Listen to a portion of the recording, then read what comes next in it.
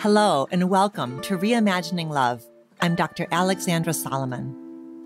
I have been studying relationships for over 20 years as a couples therapist, a professor, an award winning author, and as a wife, mother, daughter, sister, and friend. Now, I'm inviting you into this space each week as I dig into some of the toughest and most fascinating relational dilemmas of our time. If you want to discover how to create vibrant and loving relationships in your own life, you have come to the right place. This is Reimagining Love.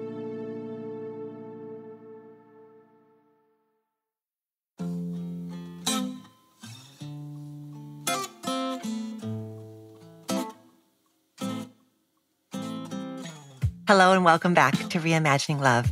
Today, we are exploring the parent child bond with my guest and my friend, Dafna Lender.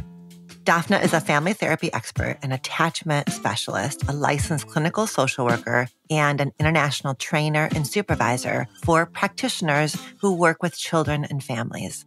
Dafna is the author of the new book, Integrative Attachment Family Therapy, and the co author of Theraplay, The Practitioner's Guide. She teaches and supervises clinicians in 15 countries in four languages English, Hebrew, French, and Spanish. Dafna's expertise comes from years of working with families across a wide spectrum of settings in at risk after school programs, therapeutic foster care, in home crisis stabilization, residential care, and within private practice. Dafna's style, whether she is a therapist or a teacher, combines the light-hearted with the profound and centers the role of play in healing work. She is a certified trainer and a supervisor and a consultant in both Theraplay and dyadic developmental psychotherapy, DDP, as well as an EMDR therapist. She's got 25 years of experience. And so she brings this deep understanding of how a child's difficult behavior and a parent's reactivity can clash and then land the family in a therapist's office. I've had a lot of walks and coffees and conversations with Dafna over the years. And every time we talk about the work that she does, I end up with chills and with tears in my eyes. She really is the best of the best. And today she's here to discuss integrative attachment family therapy, which is the model of family therapy that she has developed. Integrative attachment family therapy is a powerful intervention approach that addresses a wide array of issues that may emerge in families. And instead of viewing the child as the problem, Dafna's model addresses the crux of the issue, the misalignment in the parent child relationship. So, in this conversation, you're going to hear Dafna share stories and lessons from her years of working with parents and children, stories that illustrate the power of the healing process. What are the unique challenges that bring children to therapy? And why does Dafna so firmly believe that parents and children need to be in the room together? Well, Dafna shines a light on why understanding a parent's attachment history is so important to navigating current family dynamics. Most importantly, Dafna and I talk about the importance of letting go of blame during repair processes and centering joy, even in the most challenging moments. And then finally, we talk about a listener question, speaking to those who are considering whether or not to have kids. And in this conversation, Dafna shares a bit of wisdom on the profoundly existential experience of parenthood. Parenting is such a uniquely challenging and joyful journey, especially for those of us who are engaging in our own inner work. As we step into parenthood, we are forced to reckon with our own pasts as we confront the hidden messages and the blueprints that we inherited that now end up emerging despite our best efforts. So, whether you're a clinician, a parent examining your relationship with your child, or an adult re examining your relationship with your own parents, I know you're going to find some really valuable insights in this conversation. Enjoy.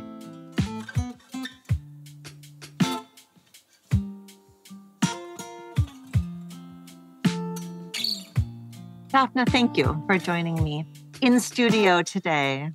My distinct honor. When I was getting ready, of course, I was getting ready by reading your fantastic new book, but I was also just like thinking about our friendship.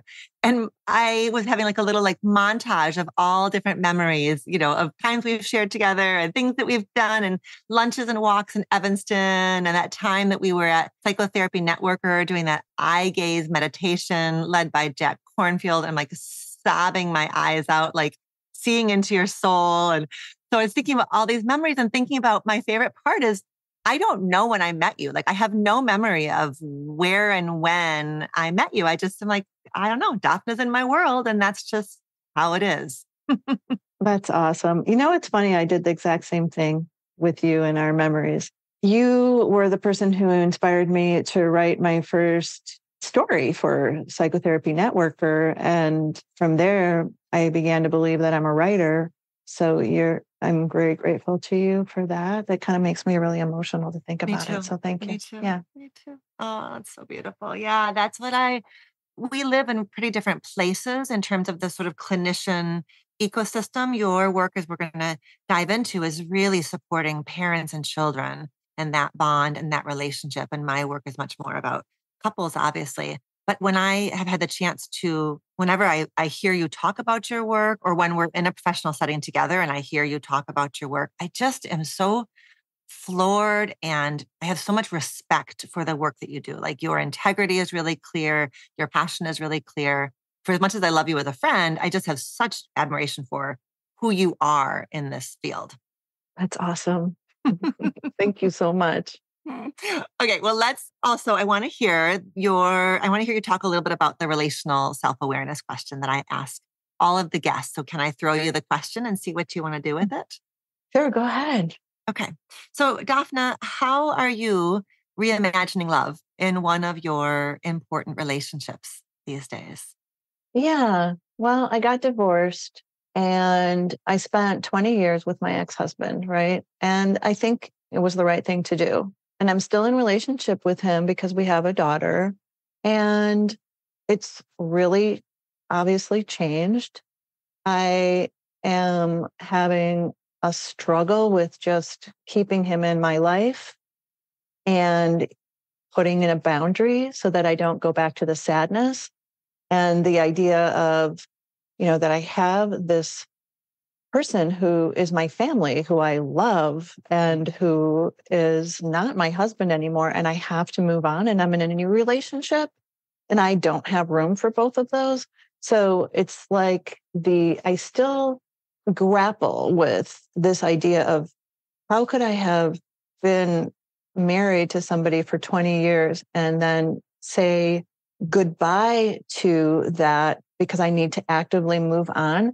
And, you know, is that reimagining love? I suppose it is, since it's this just transition from active love to really needing to say goodbye, but still loving that person and honoring that person. And it's been very, very much a stretch. Ultimately, to be able to say, no, I can't be in this place of like friendship right now because I need to move on. And how painful that is when you have to see the person because you share a child and a dog and that you have to see them, you know, twice or three times a week and things like that. It's just quite a thing, quite mm-hmm. a thing to mm-hmm. get divorced. Uh-huh.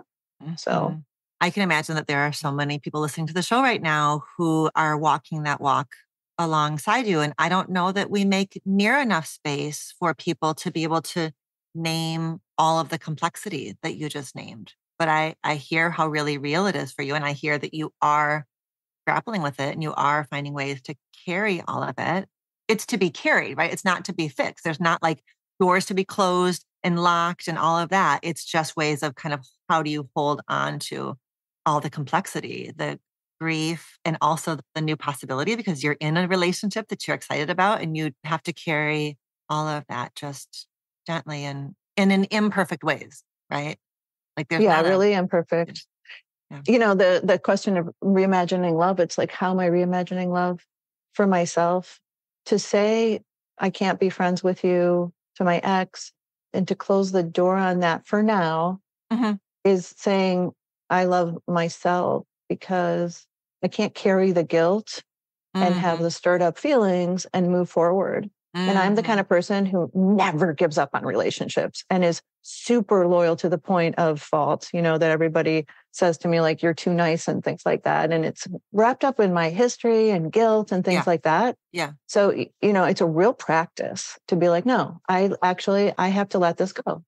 Right. So how how complicated and sort of seemingly paradoxical to say I can't be friends with you precisely because of the love and because of like it's it's a strain we feel like those things don't go together. We, we step away from relationships because this like sort of it's not healthy for me is different in this relationship with your ex-husband. It's not healthy for me is it keeps me in a place that i really do need to move out from. Possibly so that down the road there can be something different but the, something different what you are finding is something different can't show up until you have this chapter of really stepping away and saying i cannot i can't do friendship right now.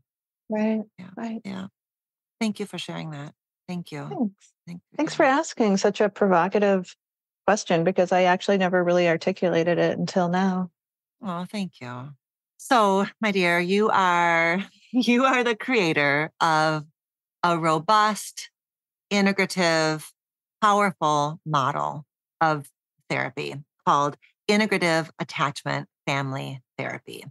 And you are the author now of a new book, which is a beautiful, rich, like you are holding a clinician's hand, offering all of the wisdom that you've been gathering for years and years and years, and really like helping the clinician, the reader, understand the theory, the theory of attachment, the neuroscience behind your approach, and then also just giving so much detail of how do you start the relationship? Where do you go in the relationship? How do you guide the relationship? What are the things you're looking for? What are the stumbling blocks? It's just a beautiful guide that you wrote for clinicians. But I mean, I'm going to sort of argue that it's also for parents, curious parents. I would, I would love for you to start by telling us about this framework of integrative attachment family therapy. Okay. Well, it's my favorite topic. So let me just start with saying that my biggest plug here is that I want clinicians and I want families who are accessing, trying to access therapy to know that they should be working with parents and children together. No such thing as dropping your kid off to a therapist while you go and sit in the lobby. You really want parents to to know that listen, if that's the approach, I want you to be thinking twice because why? Why is it so important to have right. a parent and a child in the room together? Why? Well, my experience with clinicians that I've been supervising, I've been practicing family therapy, attachment focused family therapy for 27 years. Okay. And many people who work with kids shy away from working with the parent and the child together in the room. They will either work with the child alone or they'll work with the parent, but they don't do the work together. And there's a whole lot of really very valid super messy reasons why people avoid that. And one of my biggest concerns is it is truly a waste of time and money, and the child doesn't get the help they need. That's the essence of what I'm driving at is that because we don't, we as clinicians don't have the skill and don't want to do it because we're afraid or didn't get the training, the children don't get the help that they need. The families don't and we're just letting intergenerational trauma go forward indefinitely. And then we treat the adults when they come to us as adults. So that's the big conundrum here is that mm-hmm. it would be really great if we could address childhood trauma before the child becomes an adult. Okay. So when I go to conferences, whether it's Psychotherapy Networker or the International Trauma Conference or this and that, there is such a small percentage on working with children. And when it is about children, it's focused on the individual child as if the anxiety is housed inside the child. Well, from my perspective, a child, depending on the age, and it goes all the way up through many teenagers would need this too, what I'm saying. They either, the child feels that the problem is a relational problem, that they have a problem with their parent, they're angry at them, they're disappointed, they feel rejected, whatever, or that the problem that they're having, let's say, which is outside of the parent child relationship at school or body image issues or whatever, that they don't feel that their parent understands them. And mm-hmm. that from the attachment perspective, we are our need to feel understood by and connected with and having that sense of my parent really sees me and accepts me is the number one foundation for being able to build on mental health and to build on skills that we are usually teaching the child alone in the room in the skill building or in the cognitive approach. And so I think that that primacy on the attachment relationship, on the need for the child to have their parent deeply understand and accept them is at the root of, I don't know what kind of percentages I could give, but much more of a higher percentage than we are aware of as clinicians. And that's why the work needs to be, you know, focused on that parent child relationship.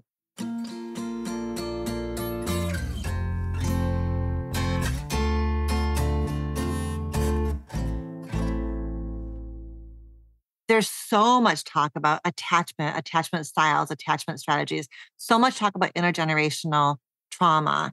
And yet it is, it is all reparative work that we are doing with adults or as adults. And what you're saying is like, hello, world, this is how we break it. This is how we transform it right here, right mm. now. If we're going to bring a child to therapy and invest those kinds of resources, we've got to really understand the power of the parent. And I can imagine, okay, I want you to talk about two areas of constraint. What gets in the therapist's way, mm-hmm. all those you said kind of messy, complicated reasons that therapists are scared or hesitant or unwilling to have parent and child in the room together.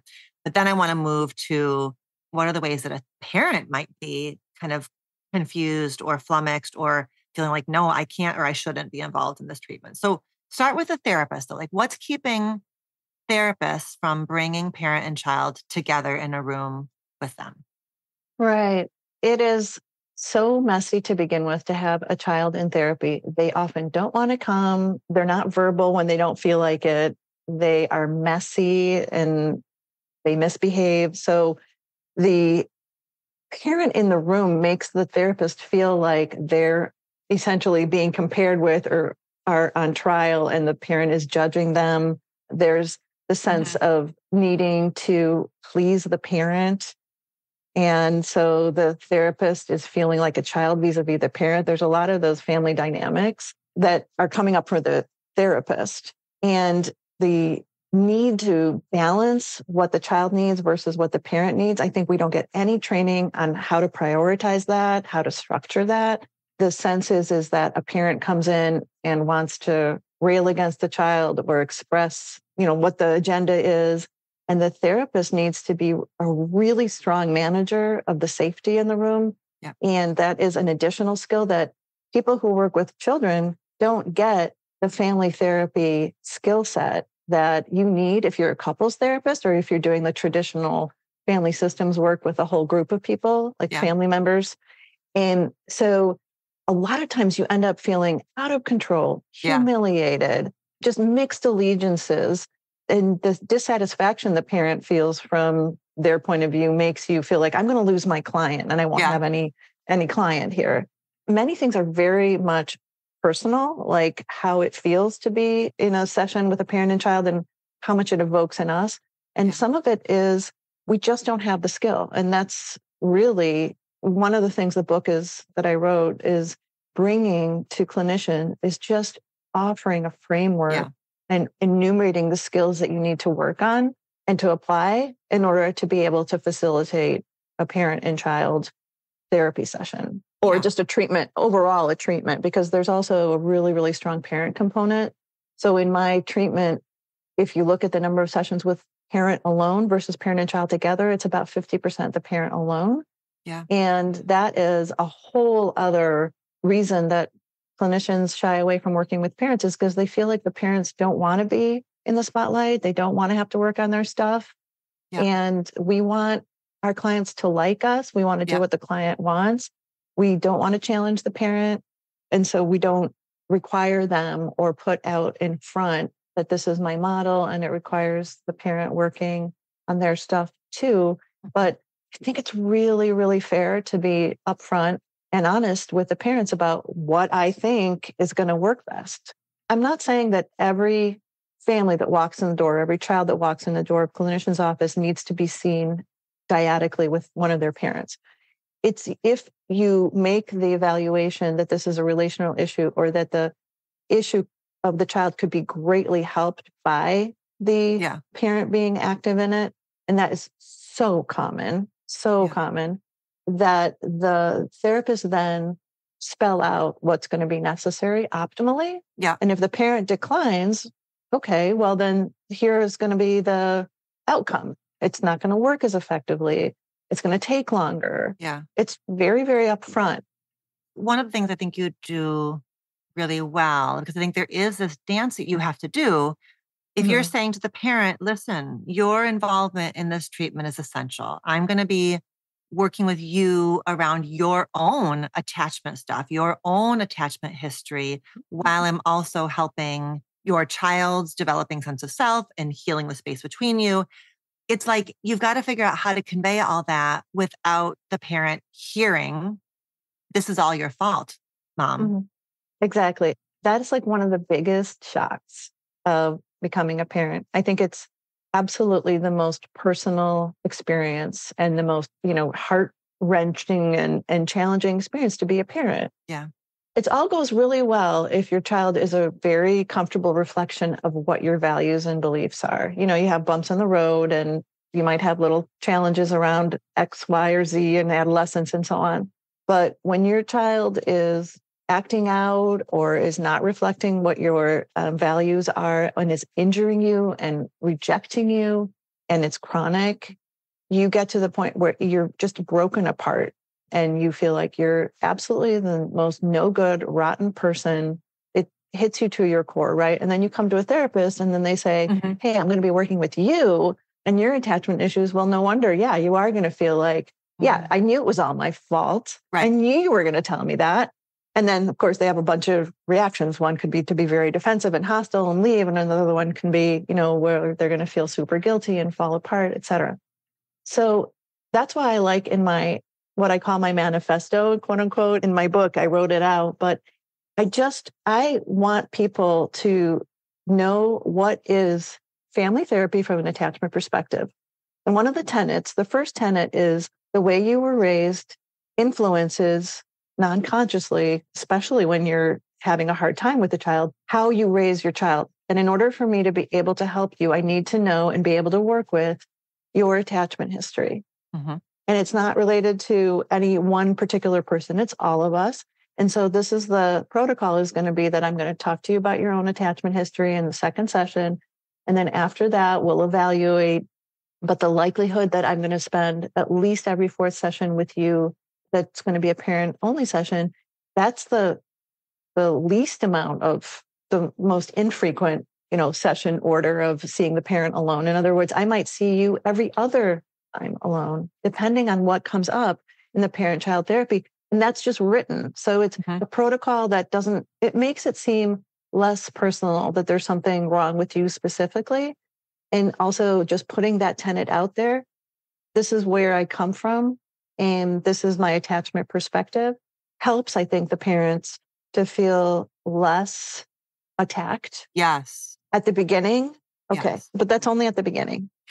right. then Before you actually have coached them in a session to, yeah. Okay. Exactly. They Mhm. still feel Yeah. attacked and blamed. And the parent only sessions are a lot about nurturing and repairing that relationship with the parent and making them feel like they are the most important person in the world to their child and that I see all the things that they've done for their child and all the Mhm. sacrifices they've made and all the efforts they're making. hmm And it's stunning to what extent you need to do that Mhm. in parent child therapy. Mm-hmm. And that's actually almost the number one reason why I have to have frequent parent only sessions is to reassure the parent Yes. I see you. You are amazing. I don't care how many mistakes you made and how Yeah. many times you repeated the same thing that you meant to say. You know, you didn't mean to yell at Yeah. your kid or spank them or whatever. I got you.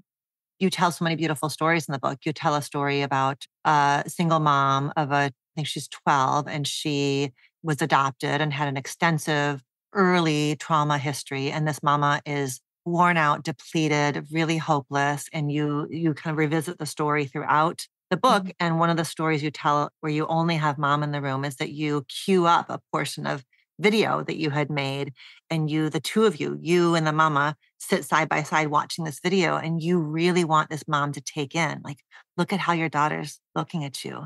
Look at how she softens when you're whatever it was that they were doing. And so you really are like wanting the parent to feel their power because so much of that power is like oh my god i have the power to hurt my kid. I can't believe i'm doing all this damage to my kid i can't believe i've messed them up but you want them to also know like you are so powerful in the healing of your child. Like this story is not over. Like look what just happened right here, right now.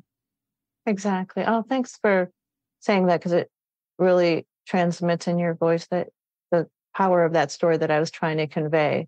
This girl did not want to talk or revisit her trauma. She had a terrible trauma history and she would never talk to her mom. When she came back from school, her mom would say, How was school?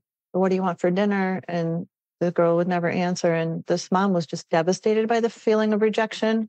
So when we were doing that session, one of the things I do is I make sure that we do really fun activities in a therapy session that are silly and connecting and involve touch and movement. And the thing that we were doing in this activity, we took hand lotion and I put it on the girl's arms and then the mom held on to the girl's arms and then she slid backwards and fell over and pretended that she was falling over.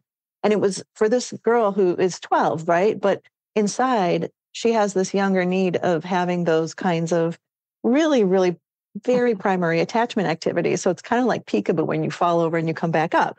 And so when she, mom popped back up, the girl was like this come on. She had her hands up in the air and she was like saying, Can you hold me? Hold me again. Yeah. And so when I showed the mom that, she looked in disbelief and thought, I think that my daughter is faking it.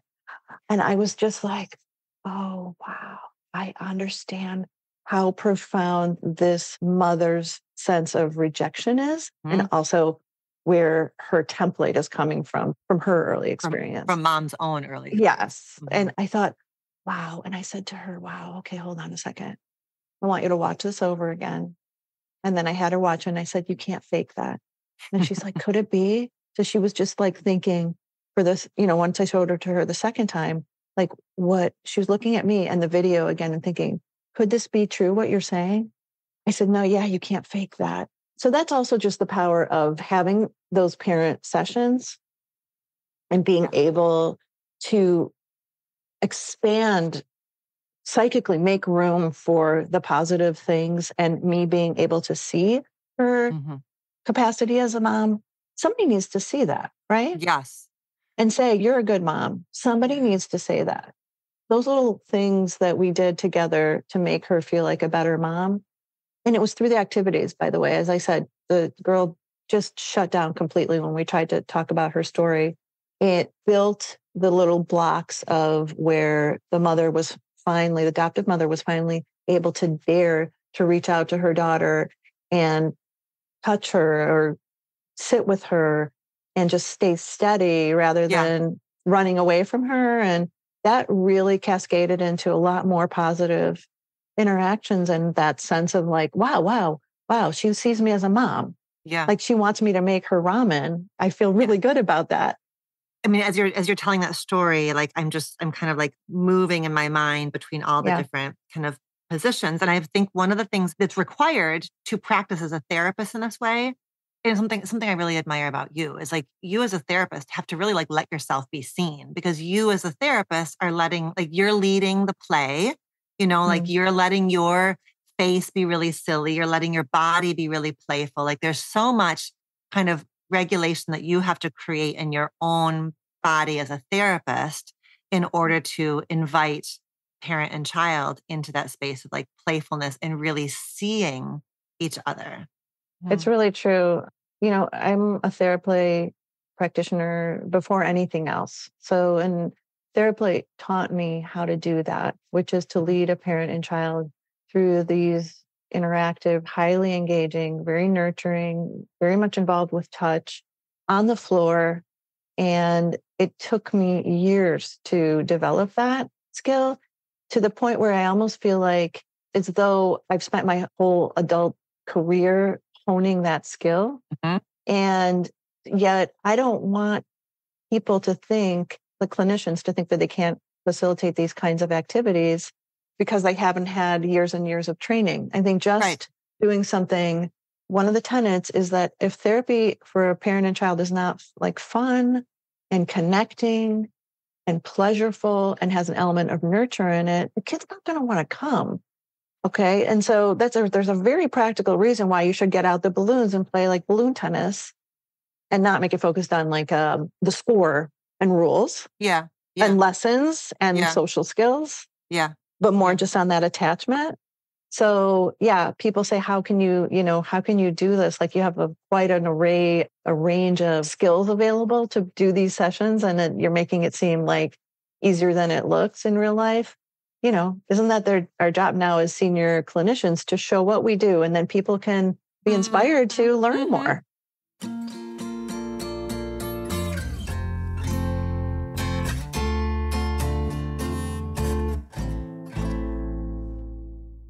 Because I'm thinking also about like somebody who's listening, you know, who who is a perhaps a parent or an auntie or an uncle, you know, or a step parent, and so much of what you want us as adults who've got little people in our lives to be mm-hmm. aware of is the power of our own nonverbals, the power of our own presence. Like, what are some best practices or things that you'd want to be whispering into a parent or an auntie or a you know stepdad around what are the things that you want that grown up to kind of keep in mind when they are engaging with a little one? I know it's a big question. The first thing comes to mind is to try and accept the child for who they are and what they're doing right now rather than trying to change them or educate them or make them go with the rules, et cetera, or uh, achieve things in school. And the two levels of attachment are one is just being with the child and flowing with them, connecting with them, being present with them. If they prefer to do something like play video games or play basketball or whatever their preference is, is just to be with them and not to wish that they were different.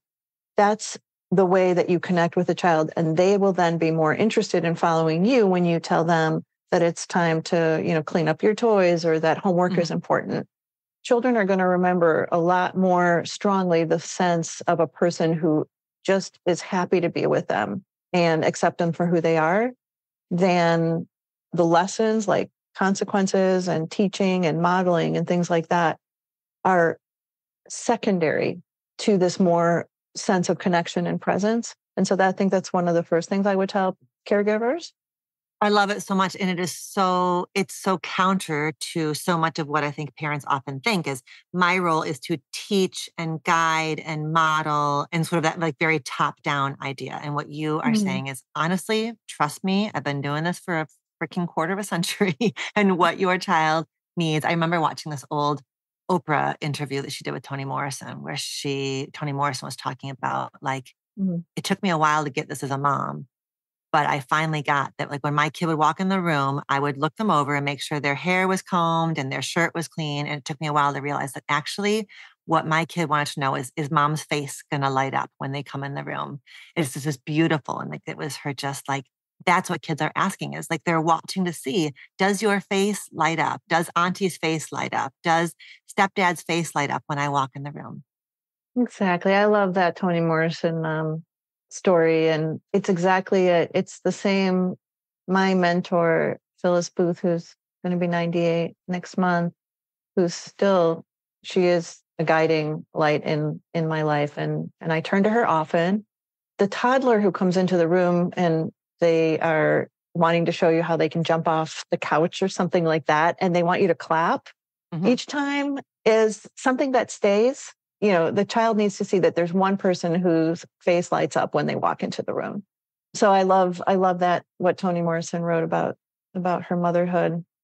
I think that doesn't mean that you don't stay firm in your limits or your consequences and i think the other thing is you know, some of the reasons why parents can't tolerate and sort of give in to if a child is like begging and cajoling or is angry and they put a limit about screen time or about driving or about food or whatever it is, is they feel that the, the child's anger is making them feel so guilty as if they've done something to injure their child and that they're no good rotten parents. And it's just like it makes you feel like you have this pendulum swing or you're just like so you give in and then you have then the opposite reaction of saying well next time i'm not going to give in and i'm going to hold the boundary or hold the line and my work with parents is to find out why why do you feel so guilty and mm-hmm. sometimes that's really the source of the sort of being wavering back and forth between holding the consequences or the line or something and then giving in and feeling like you know i'm such a ridiculous parent because i can't hold the line or be firm with my child. They're really torn up about what they've done to their child what they perceive their perceived wrongs and they're not forgiving themselves or it's something about their own attachment history. So if i see a parent who's you know really wavering and unable to be able to set those boundaries i'm very supportive of parents putting consequences. I'm okay with that. It's it's up to you to decide what the consequences are parent. I'm not going to tell you what is but if you cave in or you perceive yourself caving in let's talk about what's mm-hmm. tearing you up inside so much what or is it fear of conflict like there's a, a lot of things that if you can feel more solid, then you won't feel so threatened when your child complains, whines, petitions. You can still be empathic and you can still hold the line. Yeah. What you're saying is that there's a way that our kids hold up a mirror to our own unhealed stuff. And then if we focus on that kind of pendulum swing of it's about the consequence, it's about when I'm giving in, when I'm not giving in, if we focus on that, we're missing that really powerful healing opportunity that we get ourselves as parents, which is to notice what, okay, what comes up in me when my child is angry at my desire to set a limit? What's uncomfortable in me? And what's that history there? That's that's what you're inviting a parent to look at. It is not so much that you're less concerned about where the line is or what the line is or what the consequence is. And you're more invested in a parent really starting to understand how their own attachment history or their own unhealed stuff is getting stirred up in that moment with the child. Right. Exactly. You you said it really well. It's really hard to figure that out by yourself as a parent. It's a really really lonely place and it's often even if you have a parent co-parent it sometimes is even worse because they have like opposite reactions that react to your oh, reactions. Oh, right. Mm-hmm. And so, just to normalize, one of the most important rituals that I do with parents in those sessions is the first thing is we pick a conflict that they had with their child. Yes, I love this. I was gonna, I was gonna ask mm-hmm. you about mm-hmm. this because this oh, okay. so freaking good. Okay, so like, all right, talk us through this. I love this. Was like I had was like highlighting all over the place when I read this part. Okay, go. Oh, sorry. okay. sorry, I'm just all excited about this part. All right, so when you have a reaction to your child that's like really strong, you know, you feel super angry or you feel super rejected and you just want to give up or something that annoys the crap out of you, right?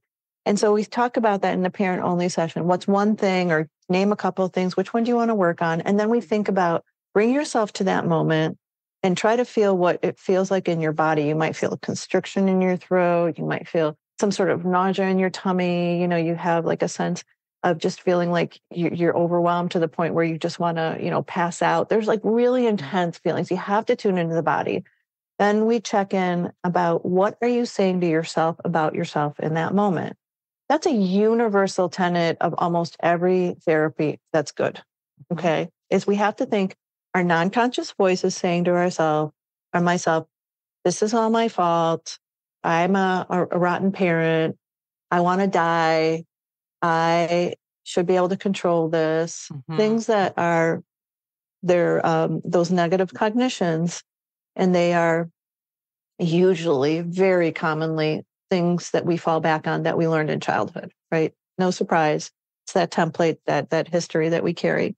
If you're able to slow down in this, it's a practice. It's a, just like the same uh, any kind of meditative practice, and it's a skill. If you're able to notice in the moment what your body is feeling, and become aware what are you saying to yourself about yourself then you're able to respond and this is the next step let's think of a message of self-compassion mm-hmm. that you can mm-hmm. respond with from your wise self or your some loving figure who you know I, I think of parents and when i ask parents like who could be that wise self for you a lot of people don't have that person within them they're very critical so we think of who might be a figure that you consider loving and benevolent and understanding mm-hmm. and compassionate and that message of self-compassion we usually make a ritual of it of putting your hand on your heart and saying i'm okay as i am and just metaphorically i want you to rock yourself back and side to side and make a few self compassion statements. I'm okay as I am. And then take a breath. And I tell the parent, I guarantee you, when you look at your child again, you know, if you take these 30 seconds and then you open your eyes and look at your child again, you're going to be able to see them better and what they need. Mm.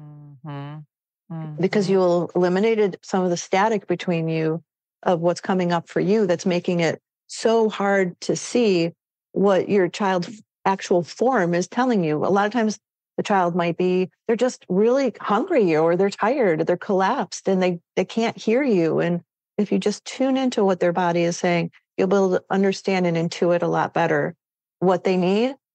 But first you have to do this exercise, right? Yeah. And it's not something that you can learn right away. And that's why I do it in every session of the parent mm-hmm. session only. Because it's a practice. You have to do it when it's like little things, right? You can't do it when it's so we have to practice it when they're calm because you have to be able to practice it in therapy in order to do it at home. Yeah.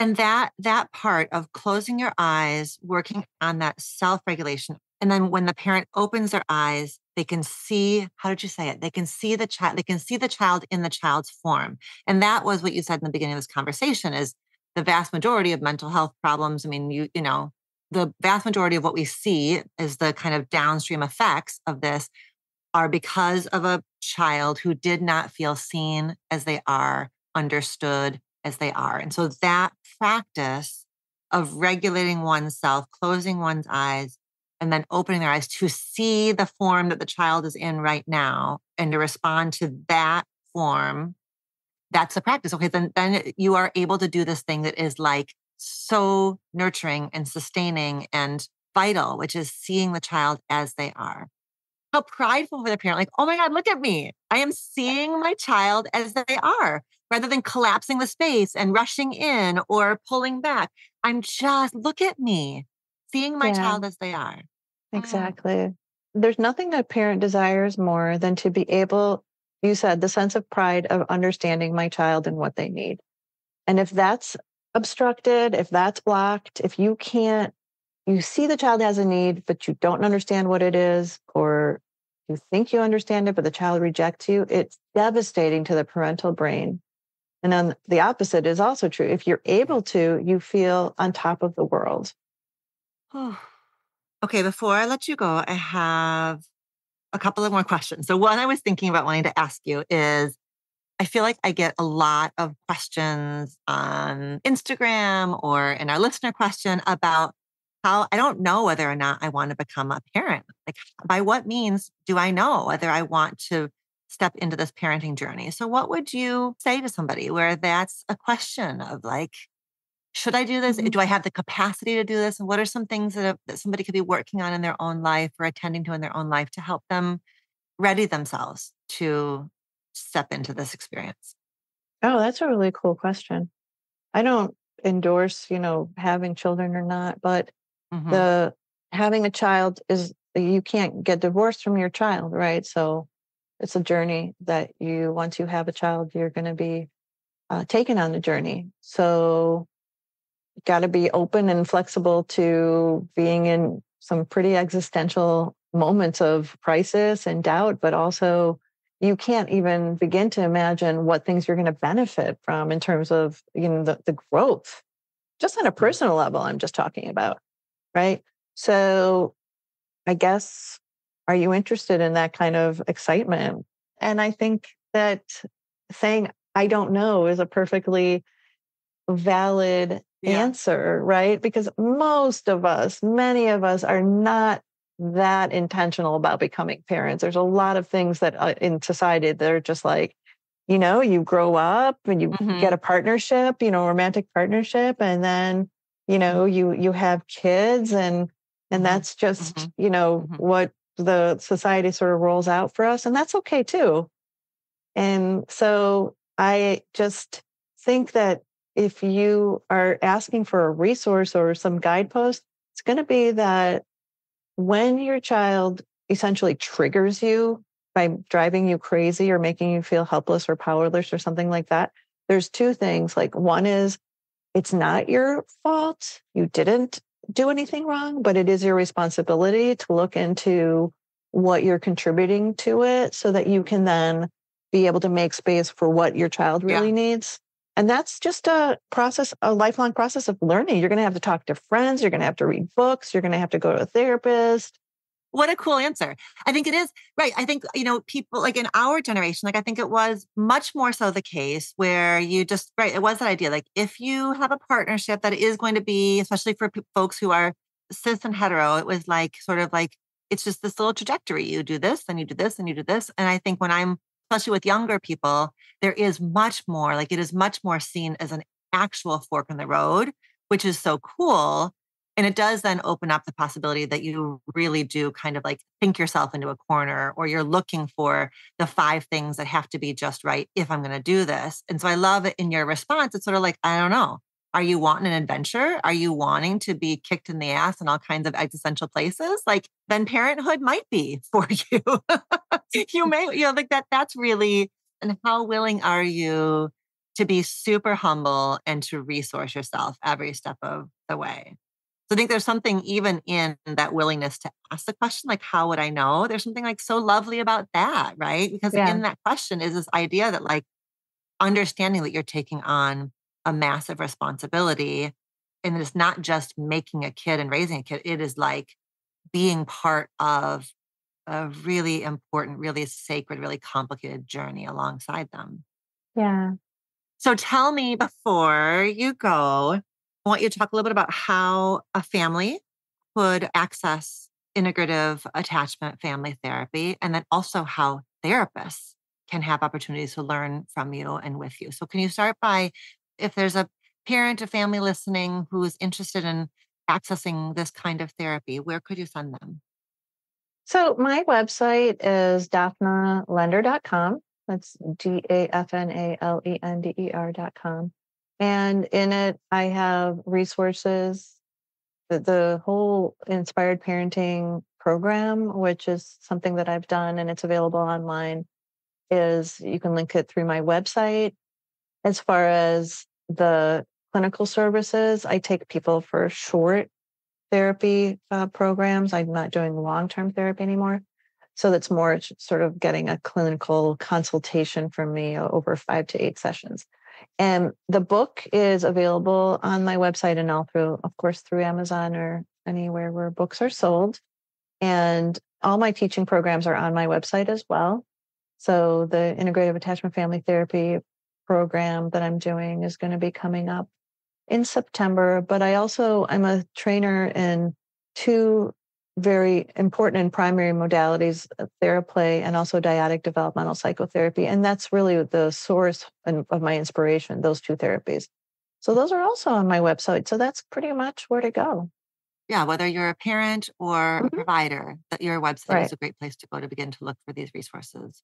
And then even, I mean, sort of circling back to where we started, the other thing that I guess I would want parents to take away is that feeling of empowerment when they're looking for services for their child, that even if they aren't able to locate somebody who specifically has trained with you, somebody who really is going to be working with the parent in the room, that that's really, you want parents to feel empowered to ask for that and to really find supports for their children where they're going to be part of the treatment.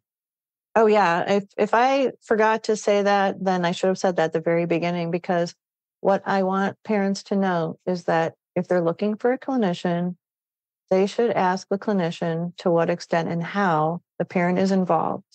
And if it's just, you know, the intake and then consultation as needed or that's not structured enough, it's not integrative enough. I don't want the parent to be sitting off to the side. I want the therapist to be facilitating actual conversations, interactions with the parent and child. And that's what I would look for if I were a parent, like the consumer yeah. looking for that. And then also ask, you know, how are you as the clinic, like ask the clinician, how are you going to help me transform and, you know, teach me Mm. how to show up for my child better. you know, you said it in the beginning, but it is so freaking important that it was really important for you to say it again at the end because that is like underline three times explanation points because that is I love when we're able to use the space and reimagining love to help people advocate for the kinds Mhm. of clinical services that are really going to benefit them. And this is really clear. This is a really clear one. Thank you, Dafna. My distinct pleasure to be with you, Alexandra Solomon.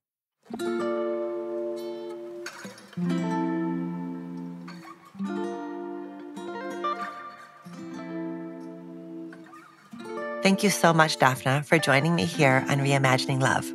If you want to engage with Dafna's work and her most recent book, Integrative Attachment Family Therapy, you can find links in the show notes. And thank you for joining me here. You know that I want to hear from you. What questions do you have about the parent child relationship? You can write to me with questions about this topic or any other topic by using the link in the show notes. Until next time, be well. Reimagining Love is produced by Emily Reeves and edited by Mary Chan and Katie Pagich of Organized Sound Productions. Our theme music was composed by Slade Warnkin. Do you have a relationship question that you want answered on the show? Visit reimagininglove.com to send in a written or audio question. Questions can be about intimate partnerships, family relationships, friendships, you name it. If you're looking for more love and relationship content, you can find me on Instagram at dr.alexandra.solomon or visit my website, dralexandrasolomon.com, where you'll find my blog as well as the Intimate Relationships 101 e course based off of the popular class I teach at Northwestern University. Thank you for listening and see you next week here on Reimagining Love.